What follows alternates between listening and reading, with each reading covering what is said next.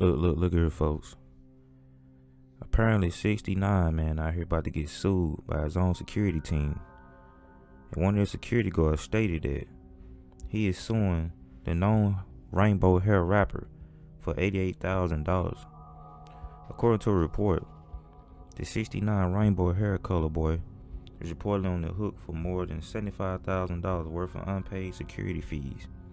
On Tuesday, March the 2nd, reported that the members of the Metro Police Department Protection Company are suing Tekashi after never receiving compensation for protecting the 24-year-old rapper during their 11-day stand, partly in Los Angeles back in November 2018.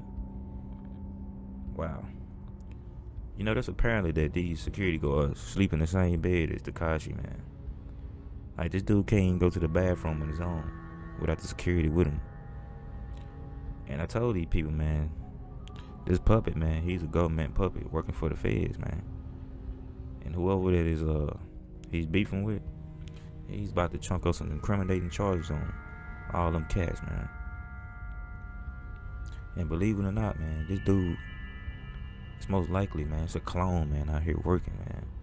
And when you see news like this in the media, I just want you to believe that this dude actually got people that he hired or you know trying to make it look like you know he not real protected no more. But that's not the case man. This dude is well protected by the the government man. Like this dude get popped man. He probably he probably bleed antifreeze you feel me? Like it'll be straight clone blood. Like this dude is not real man. And this is what these the dudes they put out here man. This dude steady on on social media starting up fake beef, talking trash all day, man, just to get that cash, man. That's it. And a lot of people tune into this type of stuff. But we all know, man, this dude was a fraud, man, from the beginning. I knew it was a fraud, man. I seen all these color hair, you know, all these rainbows and all these colorful pigtails and all this, man. We already know this was fraud nah, man, this, this is a this is a created clone, man. He out here causing chaos with other rappers and stuff. But look though, man, be on the lookout, man, cause sooner or later, man, they probably gonna have to shut this clone down at rapid speeds. You know what I'm saying? They got to close this out. You know, turn return this thing to the scrapyard where it belongs.